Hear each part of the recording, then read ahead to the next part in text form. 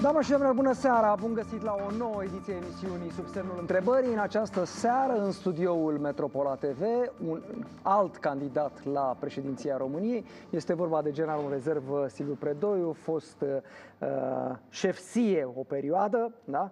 Uh, bună seara, domnule general! Bună seara! Bine ați venit! O să începem direct așa, întrebându-vă ce v-a venit. Uh... Da, mai întâi și pe mine cumva mă surprinde, nu m-am obișnuit cu prezentarea candidat la, la președinție, dar mi se pare cumva... Nu e un moft, adică sau un anunț din ăsta fals. Strânge semnături, lucrați... Să, să, nu, lucrez din plin. Din plin, sunteți dar cu motoarele turate. mi se așa. pare că s-a creat o impresie așa, cine se duce la președinție astăzi? Pentru ce te duci acolo? Pentru privilegii, pentru... Uh, eu mă duc acolo pentru că, în opinia mea, enough it's enough. Uh-huh. S-a ajuns la o limită. Vi s-a, v-a ajuns, e până sus e aici, da. mult prea mult. Ce? E mult prea mult, mult prea mult dispreț, mult prea multă incompetență, mult prea multă ticăloșie. Sunt limite care s-au depășit succesiv. Am tot spus tot timpul, nu se poate mai rău. Uh-huh. Și ne-am dovedit noi, nouă înșine, că se poate și mai rău. România, tot spun, este pe locul 6 ca suprafață în Uniunea Europeană și pe locul 8 ca populație. Și cu asta s-a terminat clasarea României în primele 10 țări din Europa. Restul ne batem pe locurile 23, 24, 25, ne batem cu Bulgaria pentru ultimul loc la tot ceilalți, toate celelalte criterii care țin de noi, că populația și cu suprafața sunt un dat până la urmă. Și de aici începem să ne batem joc. Dar când vorbim despre celelalte, speranța de viață, speranța de viață sănătoasă, testele PISA, educația, da. starea sistemului de sănătate, corupția din sistemul de sănătate. Despre toate celelalte criterii, inflație, economie, datorii, suntem acolo. Sunteți mai degrabă, mai degrabă revoltat sau mai degrabă enervat, să, uh, furios pe ceea ce se întâmplă? Sunt furios și sunt furios nu în abstract, sunt furios pentru că știu că se poate altfel. Dar degeaba știm noi că se poate altfel dacă nu știu cei din vârf, cei care sunt acolo, care au ajuns acolo.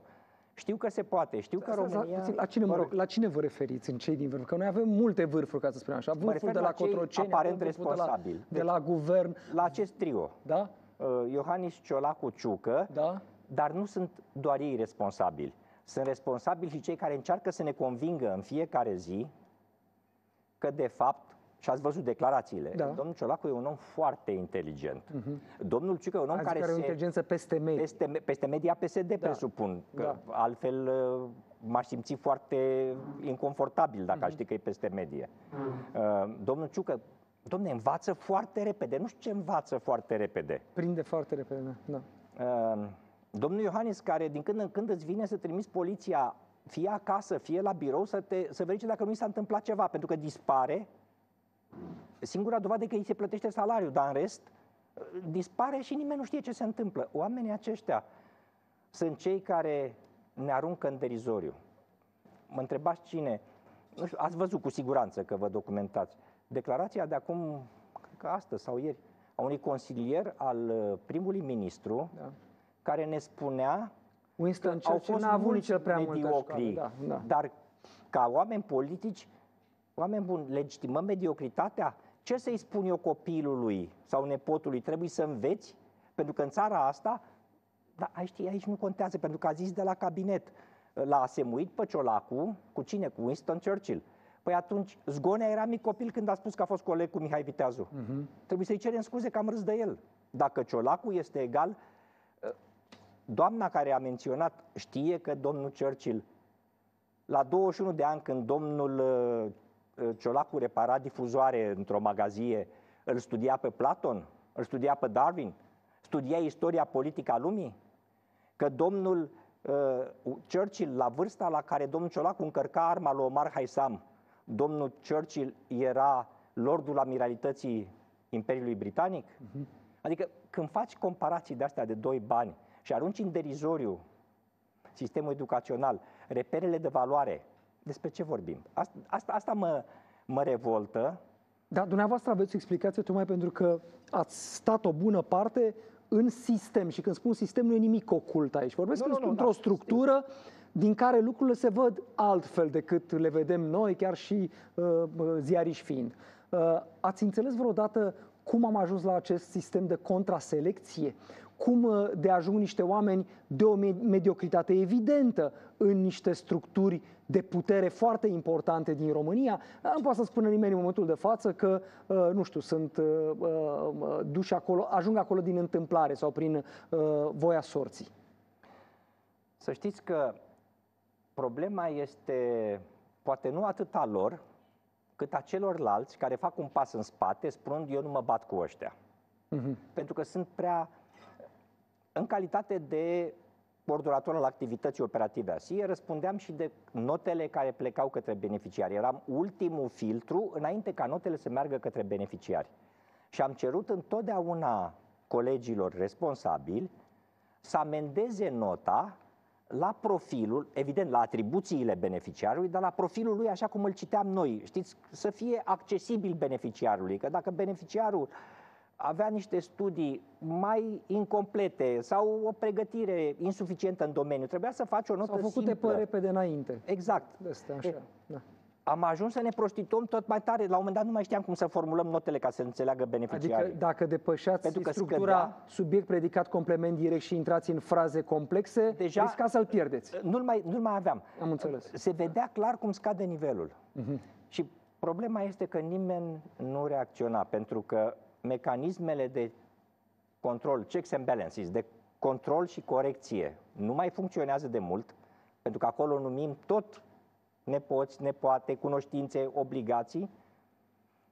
Presa, cu scuzele de rigoare într-o mare da, măsură, a abandonat o, rolul cu tărie, da. și a abandonat rolul da. de, cum se spune, de câine de pază al democrației. Da. Și atunci totul a părut uh, digerabil.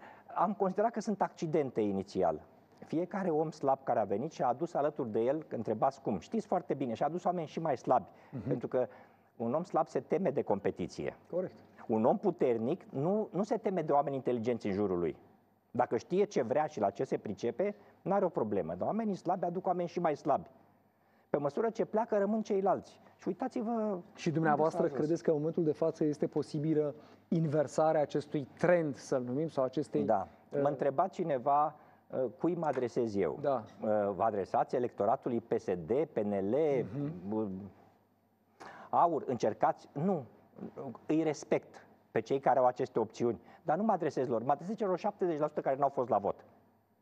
Mă adresez celor care în sondajele de astăzi, așa cum rezultă în cele corecte, că am văzut tot felul de, noi le numeam dume, tot felul de aiurel de sondaje. Uitați-mă, nu vreau să-mi dați nume, dar vreau să vă întreb dacă uh, dumneavoastră, tocmai pentru că, repet, iarăși, spun din nou, uh, uh, știți, uh, priviți cu alți ochi. Uh, avem și institute de sondare a opiniei publice care încă își fac treaba în România, corect, așa? Avem oameni care își fac treaba în institute de sondaj. Aha. Rezultatele finale țin de alte interese. Țin de cine a plătit De cine sondaj. a plătit, de cum solicită. Deci dacă vrei niște date, poți până la urmă să le obții de la exact. oamenii exact. care au făcut. Exact. Bun, exact. reveniți la sondaj, așa? Da, e, eu mă adresez celor care, așa cum rezultă în sondajele da. aproape, apropiate de realitate, avem încă 50% din votanți, care, din cei care spun că vor merge la vot, uh-huh. care spun, dar nu știu cu cine voi vota. Uh-huh. Cu ei mă adresez, cerându-le să încerce să gândească critic. Să încerce să voteze nu ca să sancționeze pe cineva, nu ca să dovedească cuiva, uite ce-ți fac eu ție. Să înțeleagă că, trebuie, că e, un, e un moment de cumpănă. Știți ce se întâmplă? Oricând un lider, nici nu știu dacă să le zic lideri, un conducător slab este un pericol pentru organizația, structura, grupul, țara pe care o conduce. E o amenințare. Dar sunt momente în care această amenințare este multiplicată de zeci de ori de contextul extern. Mi se pare că omenirea, continentul și omenirea este la un moment de răscruce. Acest moment de tranziție de la unipolar la multipolar, aceste tulburări, această garnitură de lideri europeni mai slabă decât întotdeauna, obligă România să aibă în față oameni care știu ce vor, care au o viziune, care gândesc, care își asumă reprezentarea celor care i-au votat, nu să facă pe plac celor de afară. Și nu vorbesc anti-Occident, ci vorbesc de așezarea corectă a priorităților. Ehm, De asta spun, eu mă adresez acestora. Dumneavoastră ați făcut vreun sondaj în care să vă măsurați, ca să spunem așa, că ieri, de exemplu, uitați, au pus colegii pe ecran ceva mai devreme, cel mai recent sondaj, Sociopolul, nu l-ați pus colegii, spuneți-mi, da? Da, Sociopol, da? În care nu apăreți, adică ultimul pe sondajul ăsta cu 1% este Kelemen Hunor de la UDMR. Și vi da? se pare ok Kelemen Hunor 1%? Cât are UDMR-ul de regulă? De obicei, sub uh, 5 nu uh, primește pentru că de. Pentru Nu? că de, pentru că, da. Da. Deci, nu știu, să- uh, da. Adică- 0% alții, vi se pare ok? Mhm. Nu. Adică nici măcar 0,01 Dar poate nu v-au ceva? măsurat. De ce Dar nu, nu, v-au nu e vorba de alții. Da. Pe mine nu m-a măsurat niciun, niciun sondaj, nu m-a măsurat. Dar de ce nu v-au măsurat niciun sondaj? Asta e o întrebare pe care puteți să o puneți. Unii o să zică probabil că în opinia lor sunt irelevant, alții că nu avem voie pentru că ni s-a spus că nu e bine. Alții au spus dacă plătiți vă trecem, dacă nu plătiți eu n-am de ce să vă trec în sondaj. Aha. Deci am văzut sondaje care au prins persoane care n-au declarat că vor candida. Da, au fost și astfel de sondaje. Uh, Am văzut sondaje în care l-au trecut pe, și nu vorbesc în niciun fel peorativ, pe domnul Becali. Da, recent a fost. Da. da. Deci, uh, am văzut domnul Diaconescu are 7% în uh, ultimul sondaj. Iarăși, un Diaconescu. rezultat remarcabil. Uh, deci, mă abțin de la alte comentarii. Nu știu de ce n-am Păi nu vă apărut. abțineți, domnul General, că vreau să înțelegem ce se întâmplă toată povestea asta. E o Bun, de- manipulare, Ba- e o manipulare continuă. Asta, Așa. asta este. Din punctul meu de vedere, Dar totul poate nu este știe o lumea că manipulare. sunteți candidat sau vreți să fiți Dar candidat. sunt la convins că foarte multă lume nu știe. Da. Ieri m-am întâlnit cu un confrate al dumneavoastră Da. care m-a întrebat, o persoană foarte documentată, Da. care m-a întrebat și ce mai faceți, domnule general? Mhm. Și am zis, bine, știți, mă zbat cu candidatura, cu... Ce candidatură? La ce? La ce? Da. La președinție. Păi, domnule, de ce nu ne spuneți ca să discutăm, să... Păi zic, că ce să fac, domnule, să umblu pe stradă cu un tricou? Am anunțat, am făcut conferință la Convenția Națională a partidului, am invitat presa, am anunțat, am ieșit în interviuri pe câteva posturi, unde sunt invitat, că nu pot să... Da, da. N-aveți așa o frustrare că pe vremea în care erați pe funcție, dacă făceați așa, să adunau 100 de ziariști la poarta SIE să bea un pahar de șampanie imediat, iar acum, dacă vă anunțați... Probabil da? domnul Turcescu, pentru că n-am făcut niciodată așa, Da? nu înțeles. vin nici acum, dar uh, n-am niciun regret din punctul ăsta de vedere. Mhm. Și nu o fac pentru imagine publică, o fac pentru că așa cred, pentru că simt că e datorie, datoria mea și pentru că dacă tot mă stimulați să merg până la capăt, pentru că eu cred că of- oferta mea este mult peste oferta oricărui din ceilalți, O să oricăruia discutăm dintre imediat ceilalți despre oferte, candidați. dar întrebarea e așa la un moment dat, apropo de... Bun, șeful operativ SIE vine și zice candidez la președinție, fostul șef, Da, da, da. general în rezervă, patru stele, adică bănuiesc că putea să stați liniștit și acasă în toată chestia. Dar unii vor ce, da, bă, dar ce să caute un spion, un, un- da, asta a făcut, omul, asta era meseria, da, în politică, da? Bă, Oamenii care au fost în serviciile secrete ar trebui să stea liniștiți, să-și mănânce pensia, să scrie cărți, să predea cursuri eventual despre ceea ce înseamnă uh, m, activitatea de spionaj, activitatea de, într-un serviciu secret, ce să caute în politică. Da? Eh, Pe unul care m-ar întreba Da. acest lucru, eh, l-aș întreba ce profesie este recomandată pentru politică Mhm. și ce anume din calitatea de lucrător de informații și de lider, manager și lider instituțional vine în contradicție cu activitatea Încerc politică. eu, uitați aici un răspuns, Da. da. zice, uh, faptul că aveți acces într-o formă sau alta, mai mult sau mai puțin, da, la niște informații care privesc eventual competitori într-o uh, cursă electorală, da, uh, pe care alții nu le au. Serviciul de informații... Haideți că... Adică mă gândesc că poate- Mă bucur, mă bucur că m-ați Da, întrebat. păi poate îi faceți unea cu ochiul într-o dezbatere televizată, așa un pic, da? Și Da. ăla săracul îngheață. Ce aoleu, ce știi predoiul despre Haideți să mine vă și eu spun nu așa. știu. Odată, Că știe. am informații Da? multe, foarte multe despre exterior și asta nu poate decât să servească României, pentru că noi n-am lucrat în interior, am lucrat în exterior. Corect. Asta nu înseamnă că nu s-au obținut informații multiple, că ar semna să fiu ipocrit să zic, "Ă, nu știu absolut nimic despre nimeni. Bine că nu sunteți. Dar, haideți să, lumea nu-și dă seama. Domnul Ciucă, Da. exemplu, a fost șeful Marelui Stat Major și ministrul apărării. A avut în subordine DGIA-ul, care e cel mai mare serviciu de informație a României și cu competențele cele mai extinse. nu deranjează? Pentru că a avut acces la informații vreme de N ani, 8 ani, 9 ani, știind despre toți, DGA-ul fiind și serviciu intern. Acum, dacă tot ați ajuns să credeți că domnul Hăpău, Hăpău care era șeful DGA da. la un moment dat, uh, l-o consilia la ora la care discutăm pe domnul Ciucă? Nu, știu sigur că nu. Nu. Știu sigur pentru că l-am întâlnit și stă undeva într-un sat în proximitatea satului meu da. și l-am întâlnit acolo, era retras. Bun. Deci, acolo nu se aplică? Cel mai uh, puternic beneficiar de informații care primește de la toată lumea nu este președintele, așa cum își închipuie lumea, ci premierul. Domnul Ciucă, primind informații de la toate serviciile în permanență, da. nu are suficiente date și domnul uh, Ciolacu atunci. Domn, uh, domnul Ciolacu, Ciolacu, mă scuzați, da, de domnul Ciolacu. A fost și domnul Ciucă da, a fost premier. Da, da. Deci, noi ne uităm așa, liniar, și ne închipuim că cei din servicii stau și adună într-o agendă la sfârșit ce am auzit eu astăzi de domnul Turcescu, mm-hmm. să mhm, scriu mhm. aici, ce am auzit eu de cutare. Mai este ceva, și aici poate că, nu poate, sigur sună subiectivism. Este ceva din trecutul meu care poate să indice cuiva că am folosit vreodată vreo informație clasificată, eu am o distinție foarte clară între informații clasificate și informații publice, da. chiar dacă sunt de circulație redusă, dar sunt publice, și am o distinție foarte clară în minte, în permanență, între ce înseamnă informația care mi-aparține și informația care aparține statului. Uh-huh. Nu am făcut niciodată un amestec între aceste categorii. Uh, sunt în rezervă de șase ani am dat câteva zeci de interviuri, am ieșit pe posturi, am scris articole, am scris uh, pe Facebook. N-am avut niciodată o informație sau o trimitere la altceva decât date publice. Așa că mi se pare că este ridicol. Uh, eu cred că sunt avocați care au mult mai multe informații personale decât am eu despre actori politici. Și nimeni nu i-a întrebat ce caută în politică. Eu cred că sunt medici care au mult mai multe informații da. personale uh-huh. despre tot felul de actori politici, dar nu i-a întrebat nimeni ce caută în politică. Mi se pare că această focalizare este tot rezultatul unei manipulări. Țara asta, politicienii aceștia slabi au avut totdeauna nevoie de un țap ispășitor. Țapul ispășitor perfect, domnul Turcescu, este cel care nu are voie să se apere. Serviciile n-au dreptul la replică. Uh-huh. Lumea îmi spune vorbiți mult, pentru că am trecut 32 de ani.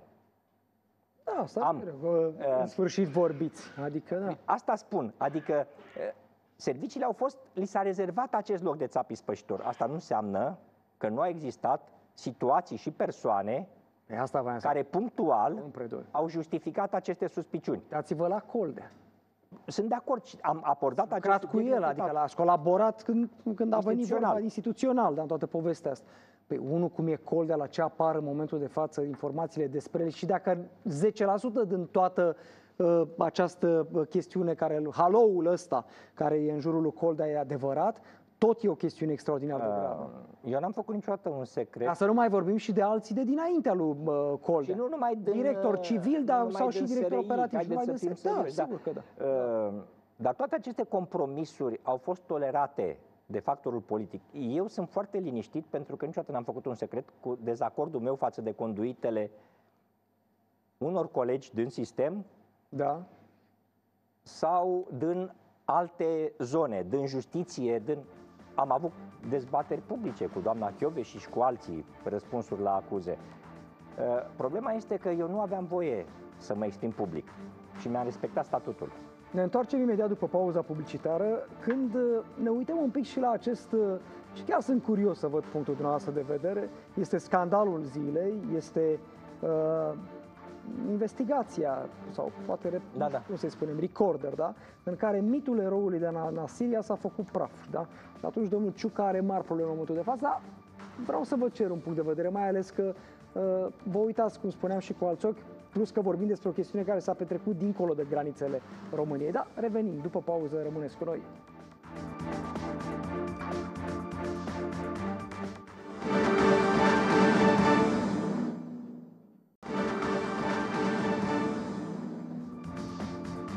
O anchetă jurnalistică publicată astăzi de canalul de YouTube Recorder scoate la iveală mm, o situație care Sigur, deocamdată e încă ținută sub obroc pentru că uh, s-a dat ordin la, de la împărăție. Mă rog, așa se întâmplă în România noastră. Uh, doi generali uh, italieni spun că nu-și amintesc ca domnul Ciucă să fi făcut acte de vitejie la Nasiria. Bun, generalii italieni ca generalii italieni, ei au avut comanda unui batalion acolo, spun că domnul Ciucă a ținut spatele, ca să zicem așa, pe scurt. Dar ar fi bine să vedeți cu ochii dumneavoastră această investigație completă. Însă apare în acest filmuleț și un român care este uh, în momentul de față retras pe undeva până în Italia, dar care a făcut parte din poliția militară la acea vreme, care a lucrat direct cu italienii. Și el povestește o situație absolut halucinantă care a revoltat pe foarte multă lume. Am primit multe telefoane astăzi de la oameni care spuneau, bă, nu a fi fost ciucă erou, să zicem, la Nasiria. Dar ce povestește acest om este absolut înfiorător și anume că la un moment dat el și colegii lui au fost prinși într-o situație complicată în care nu mai aveau scăpare, ieșire și au cerut sprijinul, repet, erau din poliția militară, au cerut sprijinul domnului Ciucă și al scorpionilor roșii. Da? Români către alți români. Alo, SOS, avem o situație complicată, salvați-ne. Și domnul Ciucă le-a răspuns că n-are liber de la, uh, din țară să acționeze, prin urmare i-a lăsat să se descurce cum or putea. Slavă Domnului, oamenii n-au murit, au reușit să descurce. Da? Priviți puțin ce declară acest polițist, fost polițist uh, militar despre situația pe care a întâlnit-o la acel moment și uitați-vă puțin și la fața lui cam cât de revoltat este. Priviți. Am primit misiunea de a merge în oraș pentru a face o patrulă am fost uh, prinși în ambuscadă. 24 de persoane am rămas blocate în, uh, în Libeiciu, în vechea bază. Sub comanda domnului major, care îl aveam uh, atunci de la București, am cerut sprijinul scorpionilor roșii să vină să ne ajute să, să evacuăm zona. Domnul Ciucă cu batalionul lui a spus că nu poate să vină să ne scoată de acolo, să facă evacuare până când nu primește aprobare din România. Dar în România Cine să-ți dea aprobare să, să vii să scapi colegii tăi, naționalii tăi, armata ta. Voi sunt colegii noștri, sunt frații noștri. Veniți să ne scoateți. De la Nasiria mi-aduc aminte din campul Ibecio și până la ieșirea din oraș către direcția aeroport Alil, dacă erau 4 km.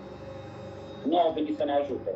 Am zis, asta este, trebuie să rezistăm. Ne-am calmat, ca să zic așa, că eram nervoși pentru că n-au venit nimeni să ne... N-a venit nimeni colegii noștri români n-au venit, ne-am calmat, ne-am recules toate forțele și am început după aia, iară, pază și observare, până când au venit colegii portughezi și italieni.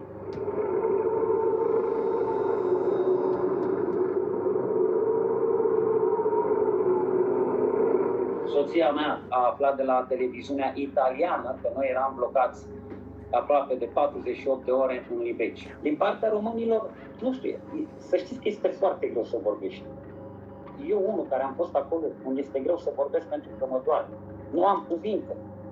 N-au venit. Și tot ei au fost ridicați în sfert, tot erou de la Anasiria, ei făceau o patrulă în afara orașului Anasiria. Ei nu au intrat în Anasiria, poate în cele 8 luni jumate cât am stat în Asiria, dacă am auzit că au intrat de două ori, doar în patrulă. Ei propriu nu au avut patrule în Anasilia. Pe noi am fost primii care am fost băgați în ambuscade, noi am fost oamenii care ne-am dus către ieșirea spre nord, unde ne-am dus să dăm o mână de ajutor colegilor noștri care erau din unitățile speciale, carabinierii și portughezii care deja ei erau blocați, propriu erau blocați în ambuscada respectivă. Din tot ce știu și din tot materialul pe care l-am, nu am auzit niciodată ca ei să participe la vreo acțiune foarte, foarte tragică. Nu. Și atunci cum se explică că ulterior peste ani a apărut și un documentar, Bătălia de la Nasiria, în care se vorbește de această ambuscadă în care domnul Ciucă a condus uh, echipajele românești în teren? Uh, eu am fost în Afganistan. Dacă vă spun un episod ce înseamnă o ambuscadă, o ambuscadă înseamnă când tu nu ai unde să fugi. Nu ai unde să fugi. Să ceri sprijin aerian și atunci să vină avioanele. Și atunci ele te scapă. Aceea este o ambuscadă. Am pățit-o. Cum e posibil să spui că tu faci o patrulă și în timpul focului tu schimbi roți de transportor? Nu este. Pentru mine nu este adevăr. Este ceva care mi-am făcut un piedestal pe care eu să fiu mare și frumos. Toată chestia a fost politică. Ce ziceți, domnule general, cum sună toată treaba asta? Nu vorbesc doar de episodul ăsta, vorbesc Nu, de nu. tot reportaj, tot ce uh, Uh, sună dramatic. Pe de altă parte, sunt afirmații până la proba contrarie corecte și reprezintă percepția celor care le fac. Așa au perceput ei situația, așa li s-a adus la cunoștință. Știți că armata are, uh, în primul rând, atunci când s-a întâmplat, nu eram adjunct. Aveam cu totul alte competențe. Uh, Răspundeam de o serie de activități pe spațiul respectiv care nu aveau nicio legătură. Eu am mai fost întrebat în câteva emisiuni de bătălia de la Nasiria. Așa. Ce am putut să spun, fără să încalc ceva și fără să Da. am senzația că manipulez, a fost, eu n-am auzit decât de ciocniri referitor la trupele române. Mhm. N-am auzit de bătălie. Punct. Uh, Armata are Mai mult... iertați-mă, deci știa și asta că e ceva umflat cu pompa dacă se spune despre bătălie și da, că de, asta înțelegem. Da, e Era un prea joc, mult. Până la urmă ai nevoie ca să generezi un factor motivațional, ai nevoie în permanență să generezi modele, chiar dacă le... și nu o facem numai noi. Uh, Problema este alta. Armata are o mie de păcate, mă refer la sistemul militar, are multe păcate, dar are și calități, chiar și pentru cei care o contestă. Absolut totul se menționează în scris, se numesc rapoarte și nu se distrug, se arhivează. Uh, Deci ar trebui o să cerere avem ca cel a puțin domnului o- așa? trebuia să rămână în evidențe. Da. La ora cu tare s-a solicitat din partea detașamentului de Da. poliție militară sprijin. A fost solicitat comandantul batalionului. Comandantul batalionului a cerut sau nu a cerut la București. Trebuie să existe răspunsul Bucureștiului sau trebuie să existe ră- Bucureștiul n-a răspuns sau trebuie să existe nu s-a cerut Mhm. aprobare de la București.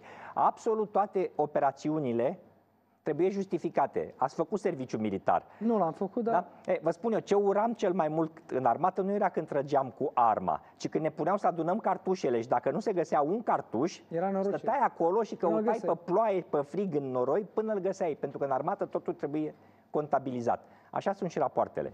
Dacă acest reportaj, care mi se pare dramatic ca implicații, nu pentru că are ambiții de președinte domnul Ciucă, ci în sine pentru că schimbă un sistem de referință în armată și a donat bocancii Muzeului Militar. Doamne, Stau Dumnezeu, acolo să se aia uite este lumea și ceva să înfiorător. spună, sunt bocancii de la Nasiria.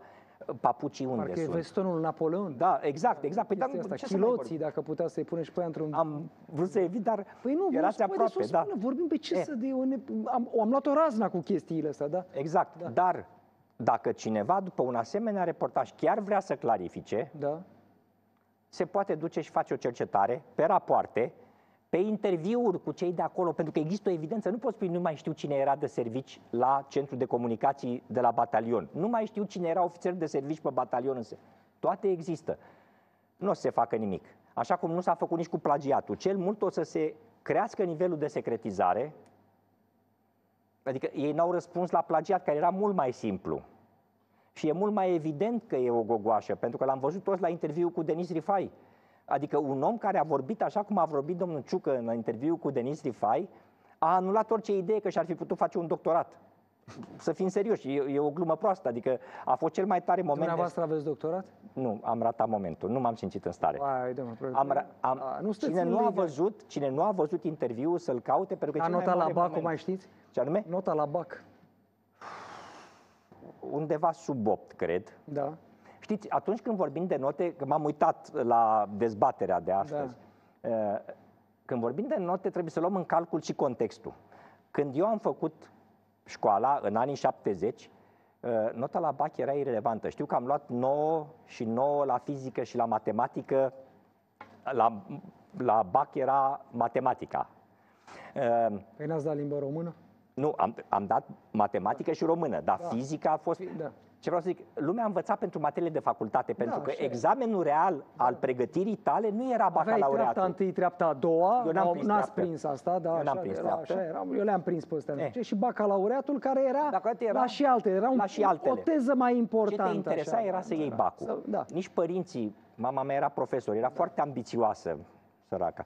Uh, am dezamăgit-o mult cu notele, dar și ea m-a zis, mamă, Bacul, lasă-l, tu învață matematică și fizică pentru facultate. facultate. Da. Asta era atunci testul Pentru că la vremea nivelului de pregătire. celor mai tineri nu intrai la facultate cu eseu sau cu buletinul. Da? Nu, sau cu nota erau, de la BAC. Erau cel de, la, la cea mai proastă facultate din uh, România, erau cinci pe loc oricum, este. că dacă nu luai la facultate, te duceai tată la, în armată la muncă, sau în armată, la locul de muncă direct, adică asta era toată chestia. Eh, și atunci...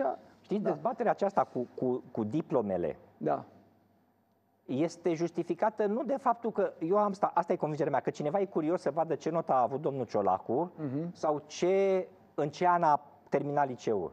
Nimeni nu l-a întrebat pe domnul Simion dacă are diplomă de bacalaureat. A publicat-o. Treaba lui, dar nu l-a întrebat nimeni. Uh-huh. N-a întrebat și nu o să întrebe nimeni pe doamna Șoșoacă dacă are bacalaureatul. O întrebi o luni, vine la emisiune.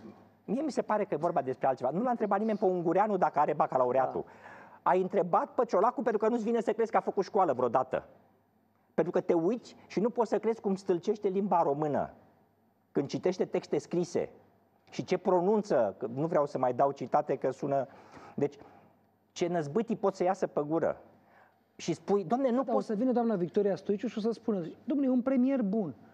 Uite, a mărit pensiile. De, de unde ne dăm seama că e un premier bun? O să vină acum pensionarul păi, dacă îți trezește ce 1000 de lei în plus, o mi-a dat ciolac 1000 de lei în plus la pensie.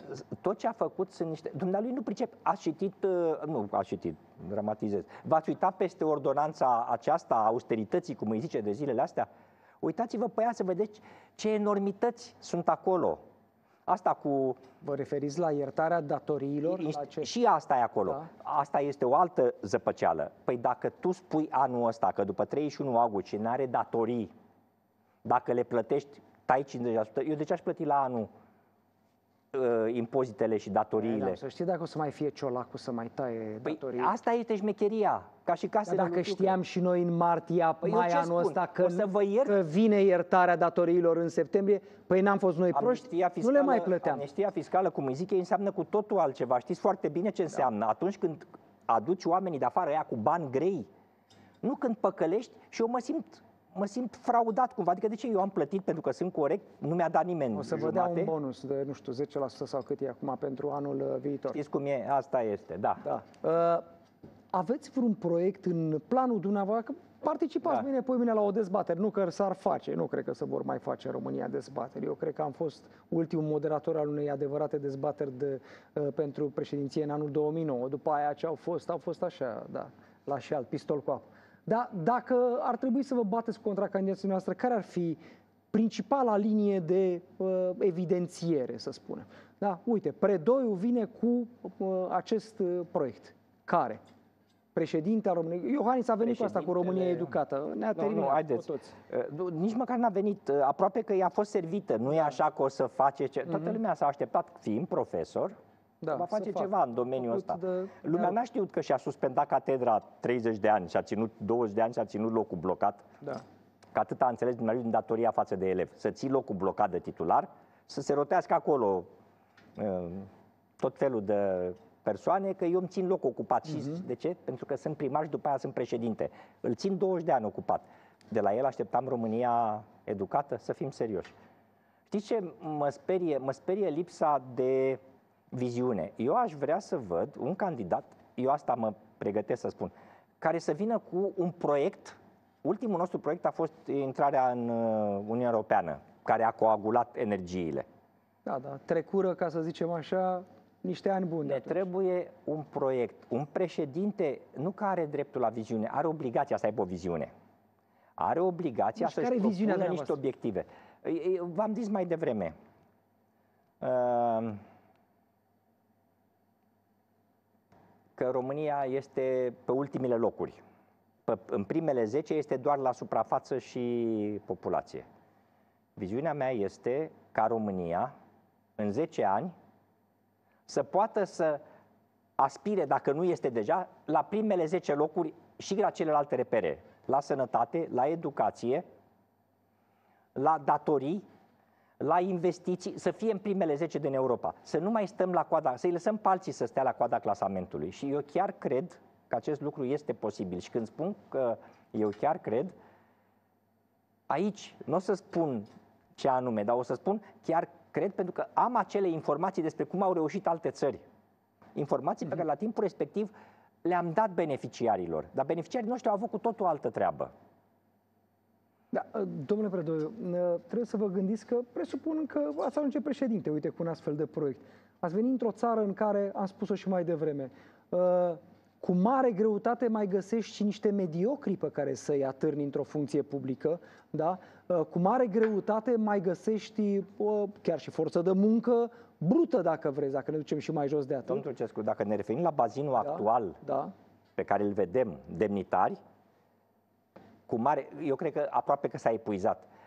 Sunt acei oameni, repet, care sunt foarte valoroși, care stau în rezervă, care stau deoparte. Uh, tot citesc, totdeauna am, m-a obligat profesia să mă documentez. Acum mă obligă ambiția de a îmi reprezenta cum trebuie semenii, să mă documentez și citesc strategii existente. Strategii pe securitate, strategii pe combaterea corupției, strate- de tot felul, făcute de lucrători din ministere. Vă spun ca unul care am văzut și pe cele străine. Strategiile noastre sunt foarte bune.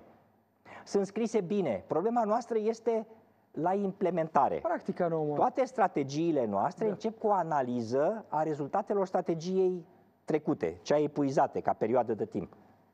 În toate, toate încep până a spune nu s-a realizat niciun punct. Problema este că nimeni nu scrie acolo, nu s-a realizat nimic, ca urmare s-au luat următoarele măsuri disciplinare.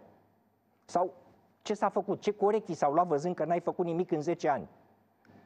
Ne ascundem după tot felul de vorbe, după tot felul de uh, năzbâtii. Dacă erați președinte, ați fi zis da la solicitarea lui Biden de a dona, subliniez, dona ucrainenilor sistemul nu, Patriot? nicio formă și aș fi explicat... Mai nu? Nu, nu și aș fi explicat Statelor Unite Așa? de ce. Așa. Pentru că România e cea mai apropiată țară de război. Rachetele pică la 47 de kilometri când lovesc insula Șerpilor. Linia frontului este 480 de kilometri de România și 8450 de kilometri de Washington. 2450 de kilometri de Madrid. Și tot așa putem să calculăm. România este țara cea, e mai apropiată decât Polonia, decât țările baltice, de zona de conflict de aici.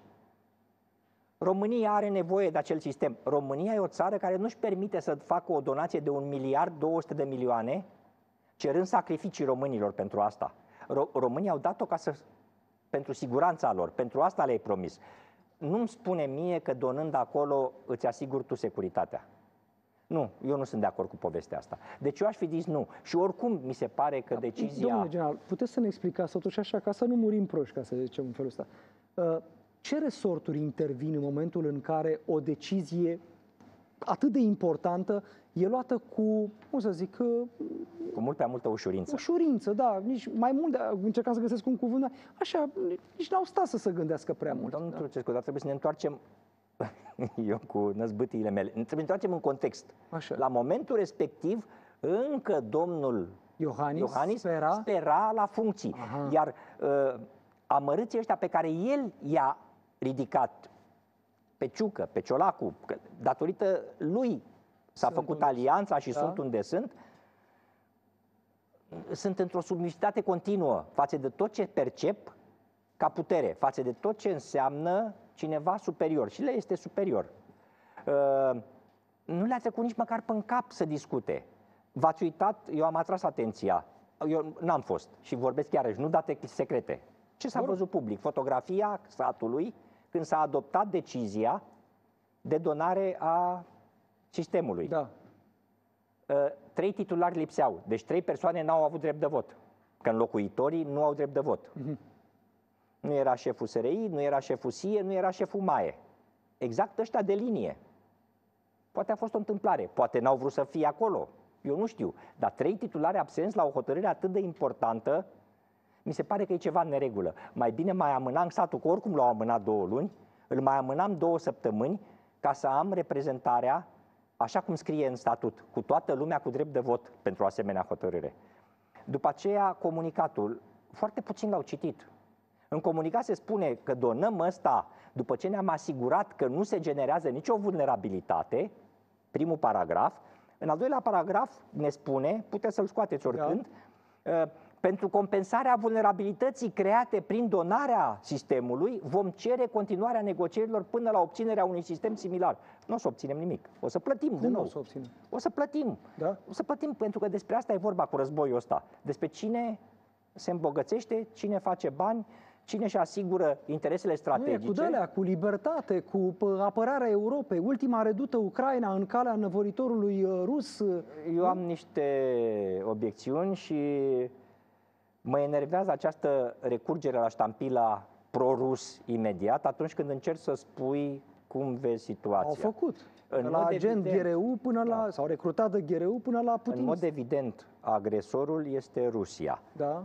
Asta nu face pe Ucraina albă ca zăpada. Mhm. Alb, Ucraina nu e nici democrație, nici necoruptă, nici echilibrată, nu-și iubește minoritățile și trebuie să știm, pă- eu nu vorbesc de minoritatea rusă.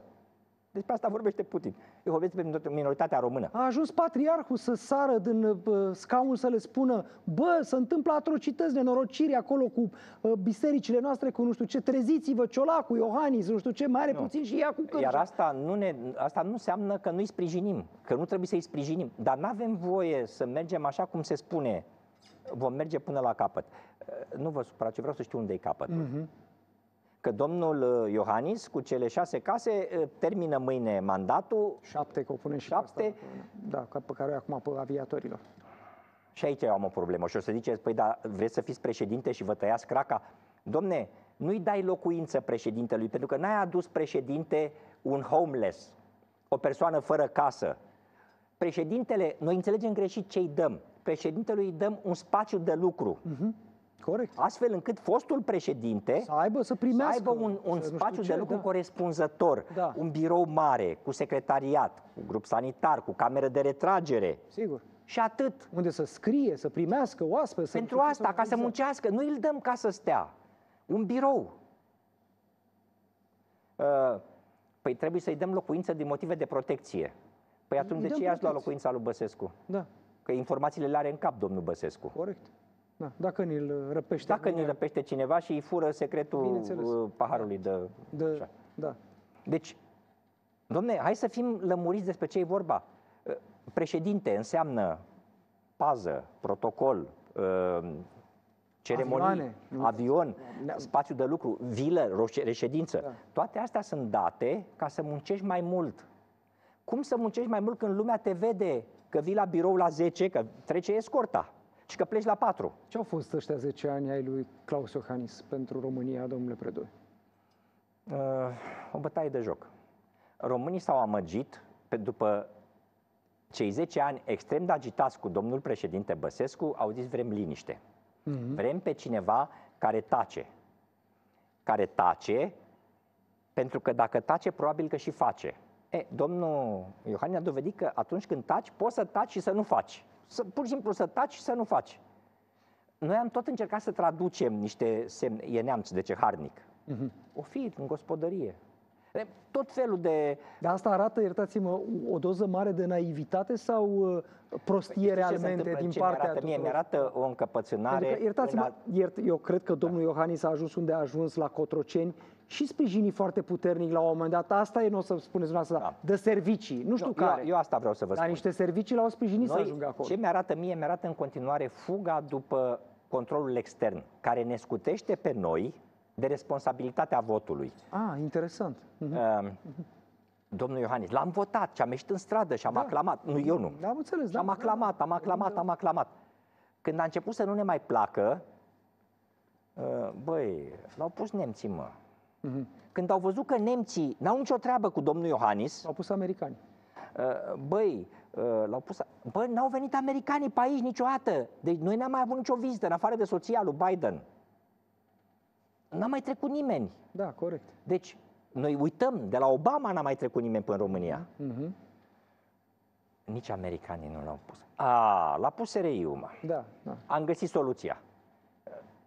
L-a pus SRI-ul? Păi, dar domnul Maior tocmai își anunța peste tot că va fi viitorul premier al domnului Ponta. A, deci nu l-a pus. ni- Păi cine l-a pus? Sie. Inspecția sanitară, cine l-a pus? Domne, hai să ne asumăm răspunderea, că de asta acum nu mai mergem la vot, pentru că, într-un fel, cumva, în subliminal, conștientizăm niște greșeli. Și în loc să spunem am greșit, spunem n-are niciun rost, oricum nu contează votul meu. Haideți Domnul să ne general, asumăm. Dar niște voturi din străinătate poate să dea sie pentru unul dintre candidați? Așa, dacă să va evi, dacă va fi nevoie, ca să Poate și zicem pot așa, să la vă un zic moment că dat. uh, sunt în jur, da, nu, nu pot să zic. Așa. Uh, Poate să dea câteva zeci de voturi ofițerii SIA aflați în misiuni externe care votează pe la ambasade. Cei care sunt cu identitate românească, că ceilalți nu pot să Mhm. Și voteze. în rest, comunitățile de În rest, români n-ai nu nicio sunt... treabă. Domne, nu? astea, astea, sunt, astea sunt niște, niște povești de care avem nevoie cu disperare. Ieri spuneam cuiva și am mai dat acest exemplu. Țineți minte scandalul de 2009 cu votul de la Paris. Votul la 3 secunde s-a furat, SIE a manipulat. Eu atunci am spus către decidentul politic, Da. domne, Serviciul de Informații Externe, dincolo de alte responsabilități, o are și pe aceea de a asigura protecția și securitatea misiunilor diplomatice în exterior. Ceea ce înseamnă că, dincolo de paza fizică, asigurăm și protecția tehnică, camerele de luat vădori pe perimetru exterior, strict. Înregistrările se păstrează pentru 30 de zile de la momentul... uh, Vă dăm înregistrările să numărați om cu om persoanele care au votat, ca să nu mai existe discuții că s-a falsificat, că sunt mai multe, că au fost mai puține, Și țineți minte unde? Au ajuns dezbaterea. înregistrările undeva? Le-a luat Nu cineva? le-a vrut nimeni. Nu le-a vrut nimeni? Nu le-a vrut nimeni. Săraci. Pentru că, de fapt, ei știau că nu s-au furat. Uh, Diaspora Deci are... Joana chiar a pierdut alegerile, Da. că a pierdut Le-a alegerile. pierdut la câteva alegeri, la, câte, Da, la la- procent foarte da. mic, dar chiar le-a pierdut. Chiar le-a pierdut. Chiar le-a pierdut. Chiar le-a pierdut pentru că, uităm, diaspora plecase nu din cauza lui Băsescu și a PD-ului, Și din cauza ci PSD. din cauza PSD-ului plecase. Da. Chiar uităm, da, uităm, știți că vorbeam mai devreme. Avem un talent de a uita și asta ne ajută să repetăm greșelile. Problema e că nu mai e loc de greșeli. Și avem nevoie de cineva care să țină lucrurile în ordine. Dintre contracandidații dumneavoastră în această cursă, credeți că există vreo unul care să aibă, hai să spunem, o susținere specială sau să fie simpatizat în mod special de unul dintre serviciile de informații? În mod sigur, pentru că la conducerea serviciilor, de regulă, sunt oameni, po- în cazul SRI-ului acum, sunt oameni politici. Nu poți omului politic, să- simpatii personale poate să aibă și ofițerul de carieră. Dar posibilitatea de a manipula rezultatul din fruntea unui serviciu Da. este foarte, foarte redusă. Nu ai cum, poți doar să faci propagandă din loc în loc sau să umpli să spui Uh, vedeți că ăla e cam plecat cu Sorcova, să nu-l votați. Bă, ne-a zis ăla de la serviciu că ăla e plecat cu Sorcova. Vedeți că pe ăla nu-l susțin americanii, mi-a zis mie într-un dialog direct. Mulțumesc, domnule Predoiu, pentru participarea în emisiunea din această seară. Vă doresc succes în această competiție electorală. Sper să participați, dacă sunteți de acord, și la confruntări cu ceilalți Eu uh, îmi doresc candidați. aceste confruntări. Da? Bine, să, să știți că rămâne înregistrat. Terheș a zis că vrea confruntări, dumneavoastră spuneți că vreți confruntări. Uh, Vine uh, Șoșoacă, doamna Șoșoacă, luni în emisiune, o să o întreb dacă acceptă confruntări și tot așa. Da? Poate până la urmă ne și Sigur că iese da. o dezbatere Sigur din asta că în care da. să vedem concurându-se con- uh, candidații la președinție. Ne oprim aici, doamnelor și domnilor, rămâneți însă cu Metropola TV pentru că urmează emisiunea Dezbaterile Metropolei cu Radu Preda. Eu vă salut și ne revedem la începutul săptămânii viitoare. Toate bune!